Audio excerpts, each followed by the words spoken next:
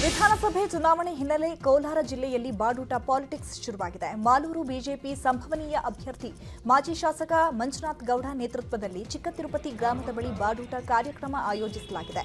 ಮುಖ್ಯ ಅತಿಥಿಯಾಗಿ ಉಸ್ತುವಾರಿ ಸಚಿವ ಮುನಿರತ್ನ ಭಾಗಿಯಾಗಿದ್ದಾರೆ. ಬಾಡೂಟಕ್ಕೆ ಐದು ಸಾವಿರಕ್ಕೂ ಅಧಿಕ ಜನರು ಆಗಮಿಸಿದ್ದಾರೆ.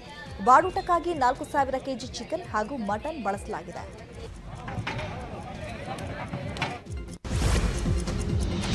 ವಚನ ಭ್ರಷ್ಟರಾದ್ರೆ ಕುಮಾರಸ್ವಾಮಿಗೆ ಆದ ಗತಿ ನಿಮಗೂ ಆಗುತ್ತೆ ಅಂತ ಸಿಎಂ ಬೊಮ್ಮಾಯಿಗೆ ಬಿಜೆಪಿ ಶಾಸಕ ಬಸನಗೌಡ ಪಾಟೀಲ್ ಯತ್ನಾಳ್ ಎಚ್ಚರಿಕೆ ಕೊಟ್ಟಿದ್ದಾರೆ. ಡಿಸೆಂಬರ್ ಇಪ್ಪತ್ತೊಂಬತ್ತರಂದು ಮೀಸಲಾತಿ ನೀಡೋದಾಗಿ ತಾಯಿ ಆಣೆ ಮಾಡಿ ಸಿಎಂ ಬೊಮ್ಮಾಯಿ ಹೇಳಿದ್ದಾರೆ. ತಾಯಿ ಮೇಲೆ ಆಣೆ ಮಾಡಿದ್ಮೇಲೆ ಕೊಡ್ಲಿಲ್ಲ ಅಂದ್ರೆ ಏನಾಗುತ್ತೆ ಗೊತ್ತಲ್ವಾ? ಆಣೆ ಮಾಡಿದ್ಮೇಲೂ ಕುಮಾರಸ್ವಾಮಿ ಬಿಜೆಪಿಗೆ ಅಧಿಕಾರ ನೀಡಲಿಲ್ಲ. ಅದಕ್ಕಾಗಿ ನಮ್ಮ ಪಕ್ಷ ಅಧಿಕಾರಕ್ಕೆ ಬಂದಿದೆ ಅಂತ ಯತ್ನಾಳ್ ಹೇಳಿದರು. ನೋಡ್ರಿ, ಈಗ ಇಪ್ಪತ್ತೊಂಬತ್ತು ಅವರು ತಾಯಿ ಆಣೆ ಮಾಡಿ ಹೇಳ್ಯಾರ. ನಾ ಕೊಡ್ತೀನಿ ಅಂತೇಳಿ. ಈಗ ಆರ್ಗ್ಯಾನಿಕ್ ಫಾರ್ಮಿಂಗ್ ಮಾಡಿದ್ರೆ ಬರೀ ನಿಮ್ಮ ಆರೋಗ್ಯ ಚೆನ್ನಾಗಿರೋದಲ್ಲ ನಿಮ್ಮ ಹಣಕಾಸಿನ ಆರೋಗ್ಯ ಕೂಡ ಚೆನ್ನಾಗಿರುತ್ತೆ. Organic farming ಕಲಿಬೇಕಾ? ಫ್ರೀಡಮ್ ಅನ್ನ ಈಗಲೇ ಡೌನ್ಲೋಡ್ ಮಾಡಿ. ಇದು ಇಪ್ಪತ್ತೊಂಬತ್ತು ಬರಲಾರ್ದೇ ಈಗ ಉಗ್ರ ಹೋರಾಟ ಮಾಡ್ತೀನಿ ನಾ ಹಂಗೆ ಮಾಡ್ತೀನಿ ರಕ್ತ ಕ್ರಾಂತಿ ಮಾಡ್ತೀನಿ ಆತ್ಮಹತ್ಯೆ ಮಾಡ್ಕೋತೀನಿ ಅದು ಮೂರ್ಖತ್ತಾರ ಅಷ್ಟೇ. ತಾಯಿ ಹಣ್ಣು ಮಾಡಿದ ಮಗನ ಕೊಡಲಿಲ್ಲ ಅಂದ್ರೆ ಅದು ಏನಾಗ್ತದೆ ಬರೀ ಕುಮಾರಸ್ವಾಮಿ ಇಪ್ಪತ್ತು ತಿಂಗಳ ನಂತರ ಅಧಿಕಾರ ಹಸ್ತಾಂತರ ಮಾಡಲಿಲ್ಲತ್ತೆ ನಮ್ಮ ಸರ್ಕಾರ ಬತ್ತಿಲ್ಲ ರೀ ಅವಾಗಲೂ ವಚನ ಸಚಿವ ಮುನಿರತ್ನ ವಿರುದ್ಧ ಮಾಜಿ ಸಚಿವ ವಿಜಯಾನಂದ ಕಾಶ್ಯಪ್ಪನವರ್ ಗುಡುಗಿದ್ದಾರೆ. ಮುನಿರತ್ನ ನಮ್ಮ ಜೊತೆಗೂ ಶಾಸಕರಾಗಿ ಮಂತ್ರಿ ಆಗಿದ್ದಾರೆ ಆದ್ರೆ ಯಾವ ಕಾರ್ಯಕ್ರಮದಲ್ಲಿ ಪಾಲ್ಗೊಂಡು ಏನ್ ಮಾತನಾಡ್ತಿದ್ದೇನೆ ಎಂಬ ಕನಿಷ್ಠ ಪ್ರಜ್ಞೆ ಇರಬೇಕು. ಕನ್ನಡ ಸಾಹಿತ್ಯ ಪರಿಷತ್ ಕಾರ್ಯಕ್ರಮದಲ್ಲಿ ಪಾಲ್ಗೊಂಡು ದೊಡ್ಡನಗೌಡ ಪಾಟೀಲ್ರನ್ನ ಗೆಲ್ಲಿಸಿ ಅಂತ ಭಾಷಣ ಮಾಡ್ತಾರೆ. ಇಂತಹ ಕೆಲಸವನ್ನ ರಾಜಕಾರಣಿಗಳು ಸಚಿವರು ಮಾಡಬಾರದು ಅಂತ ಕಾಶ್ಯಪ್ಪನವರ್ ಕಿಡಿಕಾರಿದ್ದಾರೆ.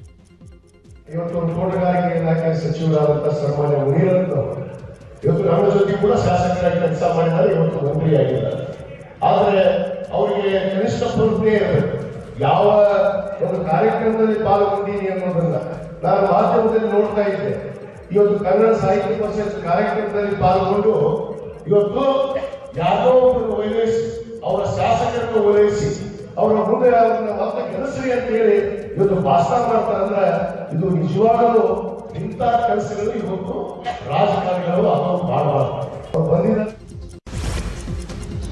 ಮಾಜಿ ಮಂತ್ರಿ ಎಸ್ಎಸ್ ಮಲ್ಲಿಕಾರ್ಜುನ ಫಾರ್ಮ್ ಹೌಸ್ನಲ್ಲಿ ವನ್ಯ ಪ್ರಾಣಿಗಳು ಪತ್ತೆ ಪ್ರಕರಣಕ್ಕೆ ಸಂಬಂಧಪಟ್ಟಂತೆ ರಾಜಕೀಯ ತಿರುವು ಪಡ್ಕೊಂಡಿದೆ. ನ್ಯೂಸ್ ಏಟೀನ್ ವರದಿ ಉಲ್ಲೇಖ ಮಾಡಿದ ಸಂಸದ ಜಿಎಂ ಸಿದ್ದೇಶ್ವರ್ ಸುದ್ದಿಗೋಷ್ಠಿ ನಡೆಸಿದ್ದಾರೆ.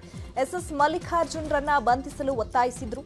ಡಿಎಫ್ಒ ಸರಿಯಾದ ತನಿಖೆ ನಡೆಸದಿದ್ರೆ ಅವರನ್ನ ವಜಾ ಮಾಡಲು ಸೂಚಿಸಿದ್ದೇನೆ ಅಂತ ಜಿಎಂ ಸಿದ್ದೇಶ್ವರ್ ಹೇಳಿದ್ದಾರೆ. ರೀತಿ ಆಗಿದೆ ಅಂತೇಳಿ.